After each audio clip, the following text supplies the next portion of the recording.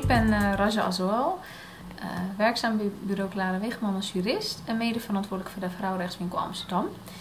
Um, vanwege de grote vraag naar laagdrempelig juridisch advies hebben we dit jaar twee nieuwe locaties geopend. In stadsdelen uh, waar een diversiteit aan vrouwen wonen met veelal een lagere sociaal-economische status als achtergrond.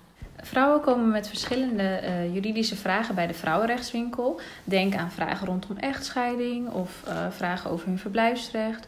Maar ook uh, als ze te maken hebben met zwangerschapsdiscriminatie op de werkvloer, kunnen we daarover adviseren.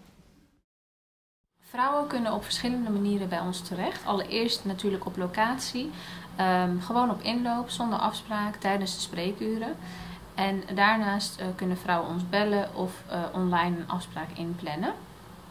Op het moment dat een cliënt langskomt voor een afspraak, uh, heeft, uh, vindt er een intake plaats met uh, twee studenten die een juridische achtergrond hebben, waarbij de vragen zullen gesteld worden over waar de cliënt precies voor komt en waar ze mee geholpen kunnen worden. we kijken altijd of we ja, het advies kunnen terugkoppelen zonder dat er een procedure nodig is. Uh, soms uh, willen cliënten gewoon weten waar ze aan toe zijn, wat hun rechten en plichten zijn. Uh, op het moment dat er wel een, een, procedure nodig is, kunnen we doorverwijzen naar bijvoorbeeld een advocatenkantoor waar we mee samenwerken in Amsterdam. we hebben ook een samenwerking met vrouwenorganisaties. Dus daar kunnen vrouwen ook terecht voor bijvoorbeeld juist meer sociaal-maatschappelijke problematiek.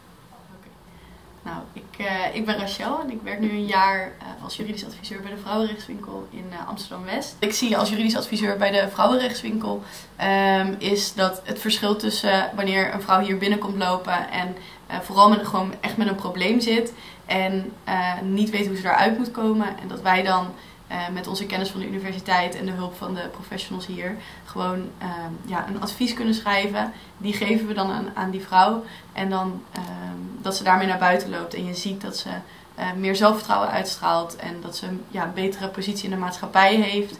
Waardoor haar niet zomaar meer iets verteld kan worden. En ze haar probleem echt kan aanpakken.